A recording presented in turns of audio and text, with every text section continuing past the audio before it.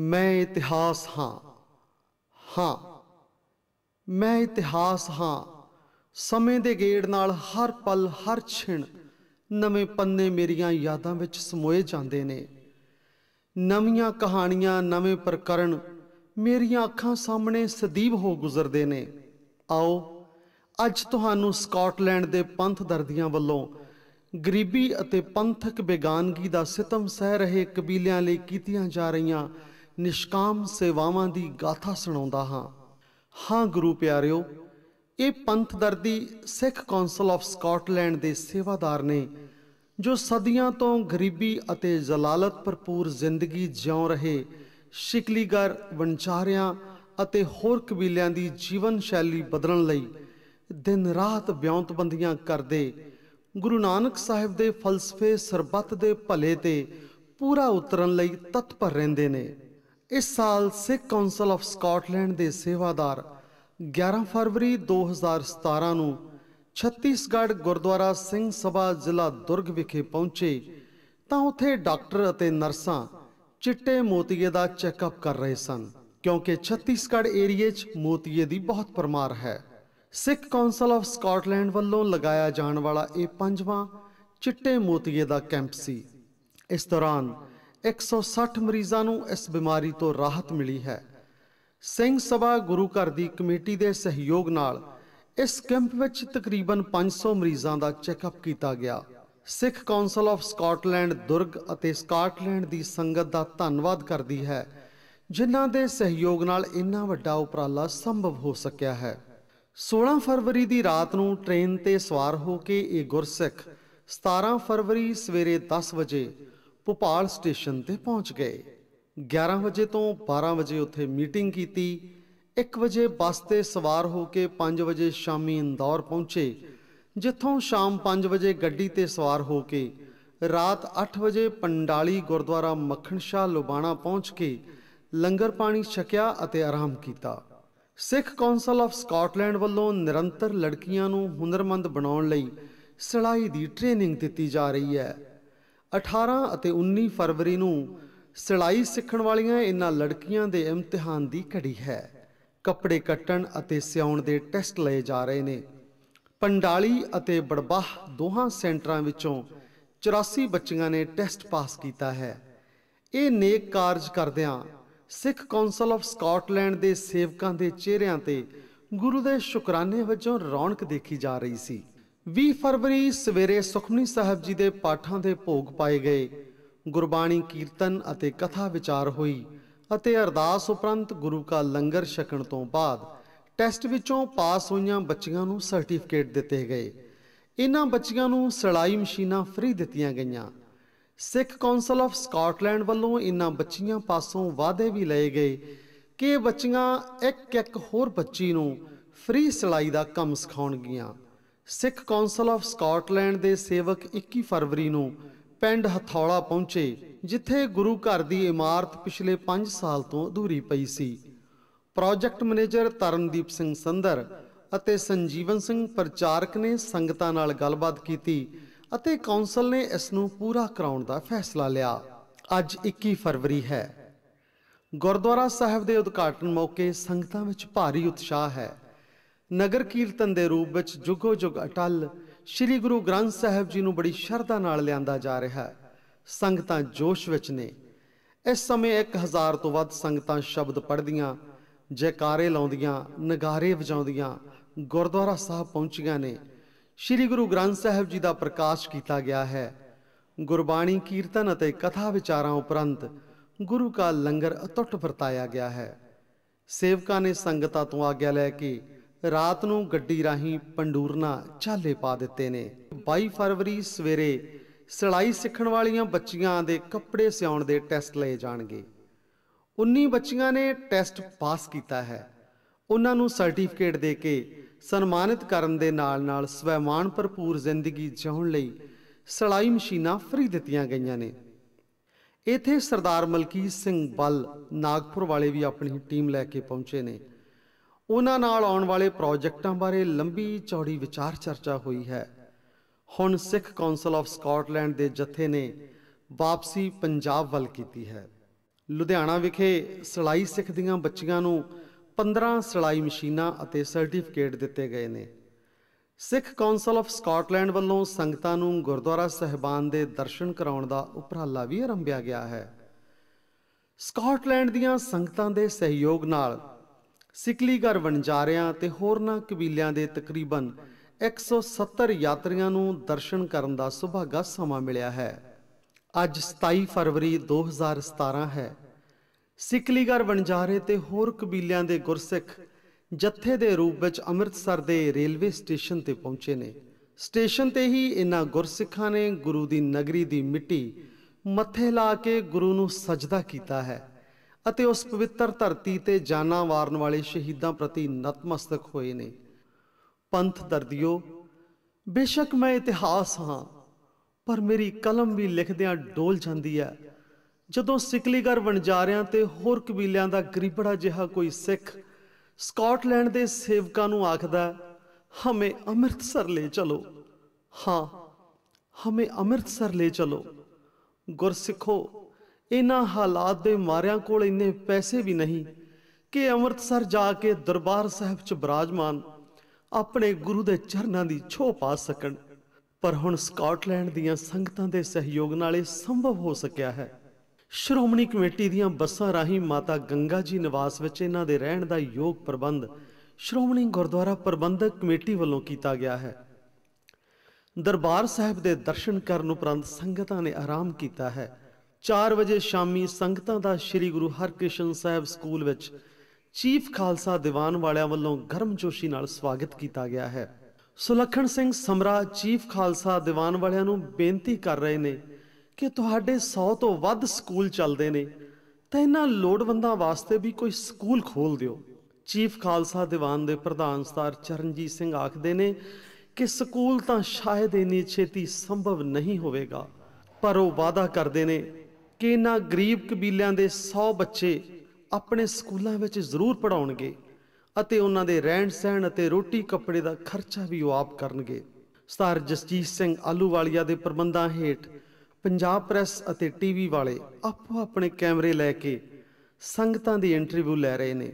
ਵਾਕਿਆਈ ਇਤਿਹਾਸਕ ਪਲ ਨੇ। ਦੂਸਰਾ ਦਿਨ ਹੈ ਅੱਜ। ਹਰਿਮੰਦਰ ਸਾਹਿਬ ਦੇ ਦਰਸ਼ਨ ਕਰਕੇ ਸੰਗਤਾਂ ਗਦ-ਗਦ ਹੋ ਗਈਆਂ ਨੇ। ਉਸ ਤੋਂ ਉਪਰੰਤ ਸੰਗਤਾਂ ਨੇ ਗੁਰੂ ਦੀ ਬਖਸ਼ਿਸ਼ ਲੰਗਰ ਛਕਿਆ ਹੈ।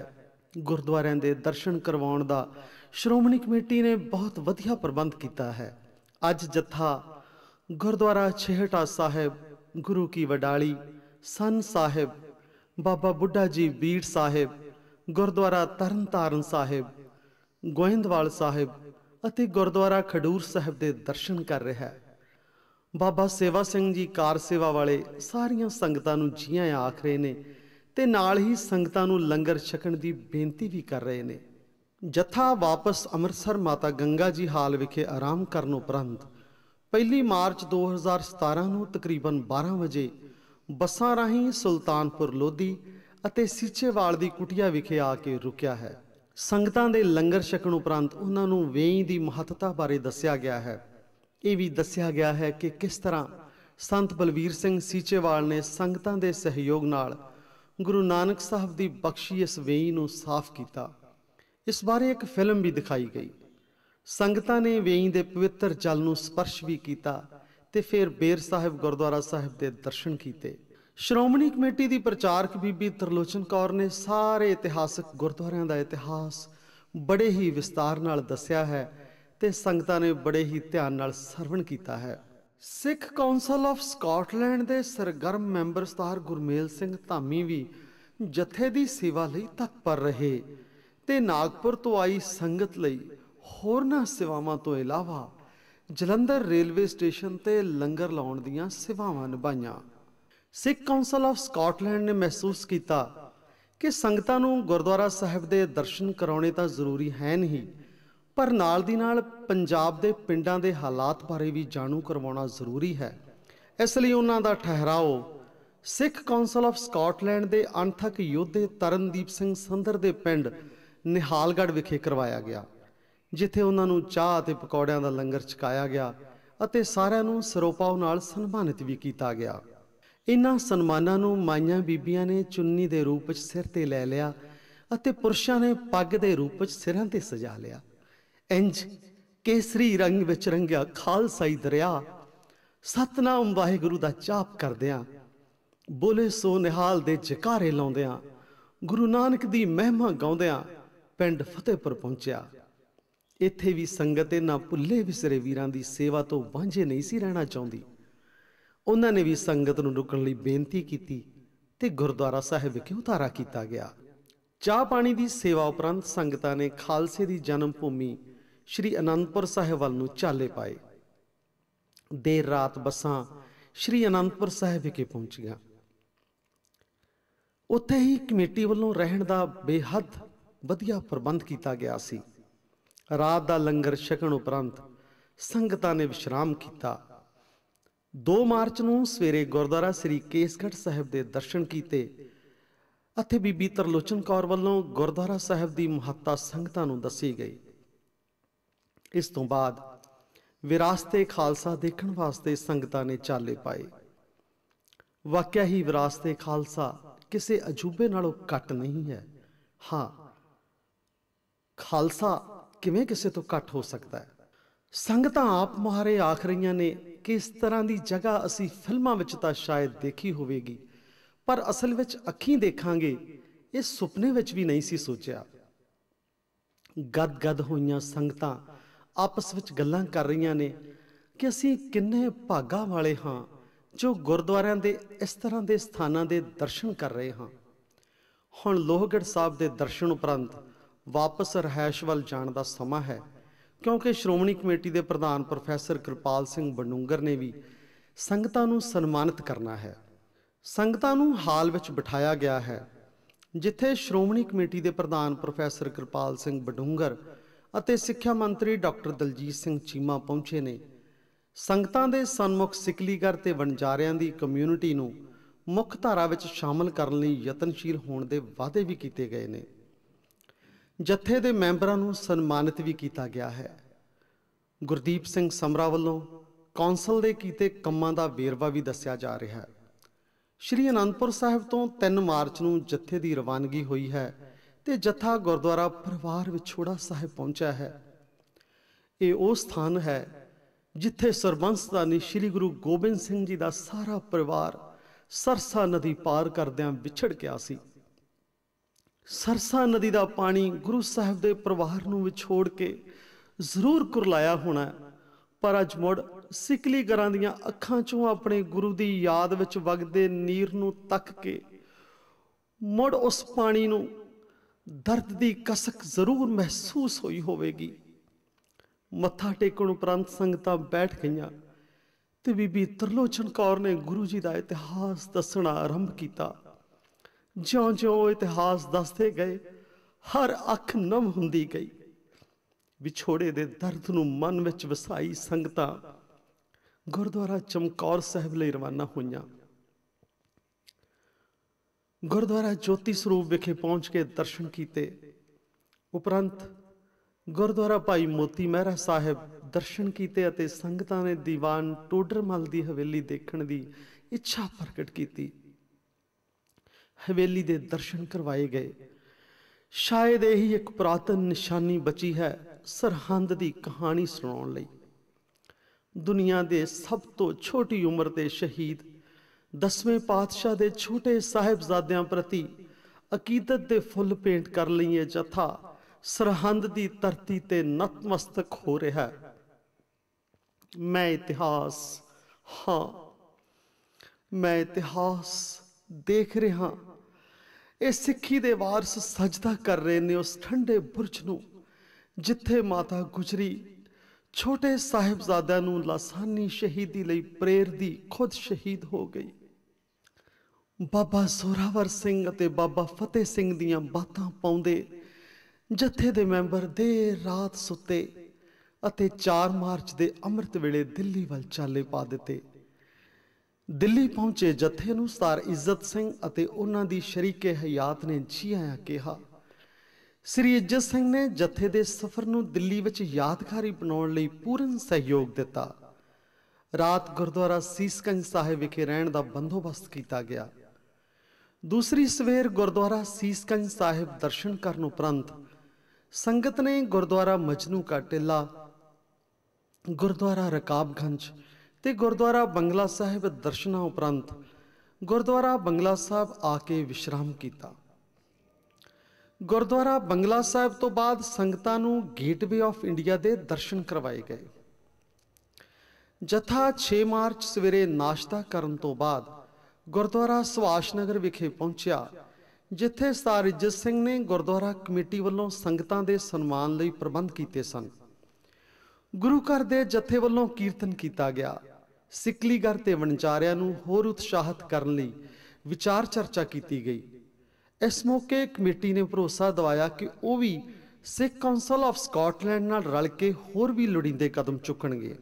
ਮੈਂ ਇਤਿਹਾਸ ਹਾਂ, ਮੈਂ ਇਤਿਹਾਸ ਬੇਬਾਕ ਹੋ ਕੇ ਆਖਾਂਗਾ ਕਿ ਜਦੋਂ ਪੰਜਾਬੀਆਂ ਦੀ ਮਾਤ ਭੂਮੀ ਅਤੇ ਸਿੱਖਾਂ ਦੇ ਆਪਣੇ ਅਸਥਾਨ ਪੰਜਾਬ ਵਿੱਚ ਨੌਜਵਾਨ ਕੇਸ ਕਤਲ ਕਰਵਾ ਰਹੇ ਨੇ, ਉਸ ਸਮੇਂ ਦੇਸ਼ ਦੇ ਹੋਰਨਾਂ ਭਾਗਾਂ ਵਿੱਚ ਸਿਕਲੀਗਰ ਵਣਚਾਰੇ ਤੇ ਹੋਰਨਾਂ ਕਬੀਲਿਆਂ ਦੇ ਲੋਕ ਅੱਜ ਵੀ ਗੁਰੂ ਦੀ ਬਖਸ਼ਿਸ਼ ਕੇਸਾਂ ਦੀ ਸੰਭਾਲ ਬੜੀ ਇੱਜ਼ਤ ਨਾਲ ਕਰਦੇ ਨੇ।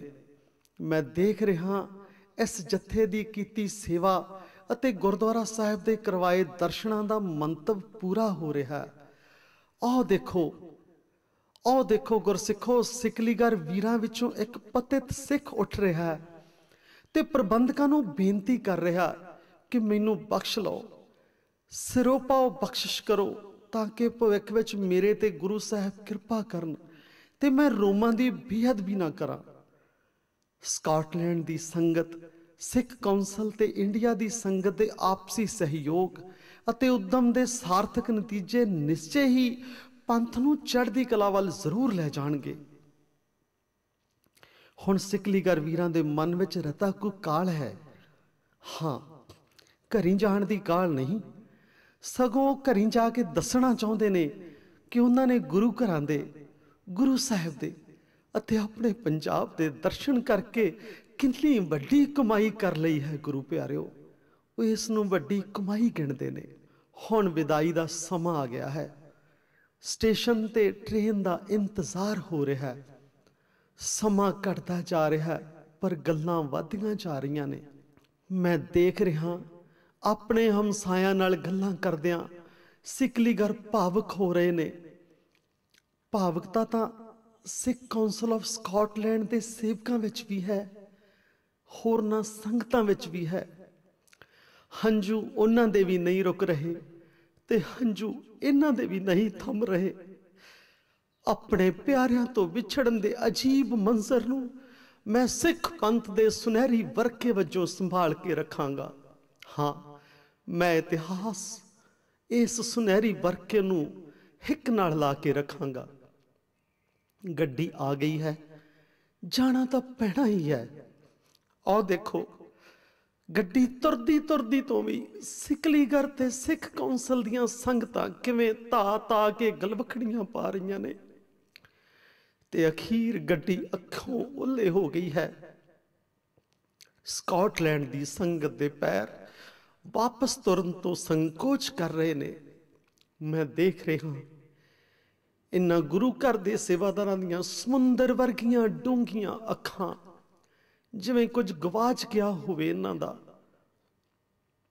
ਬਸ ਜੇ ਕੁਝ ਪੱਲੇ ਰਿਹਾ ਤਾਂ ਸਿਕਲੀ ਕਰ ਵਣਜਾਰਿਆਂ ਦੀਆਂ ਯਾਦਾਂ ਜੋ तमाम ਉਮਰ ਇਹਨਾਂ ਦੇ ਚੇਤਿਆਂ ਵਿੱਚ ਵਸੀਆਂ ਰਹਿਣਗੀਆਂ ਮਨਾਂ ਨੂੰ ਸਕੂਨ ਦੇਣਗੀਆਂ ਕਿ ਪੰਥ ਨੇ ਜਿਨ੍ਹਾਂ ਵੀਰਾਂ ਨੂੰ ਸਦੀਆਂ ਬੱਧੀ ਵਿਸਾਰ ਛੱਡਿਆ ਸੀ ਉਹਨਾਂ ਨੂੰ ਮੁੜ ਤੋਂ ਕਲਾਵੇ ਵਿੱਚ ਲੈਣ ਦੀ ਸੇਵਾ ਗੁਰੂ ਸਾਹਿਬ ਨੇ ਸਿੱਖ ਕਾਉਂਸਲ ਆਫ ਸਕਾਟਲੈਂਡ ਨੂੰ ਬਖਸ਼ੀ ਹੈ ਹਾਂ ਸੰਗਤ ਜੀ, ਮੈਂ ਇਤਿਹਾਸ ਹਾਂ।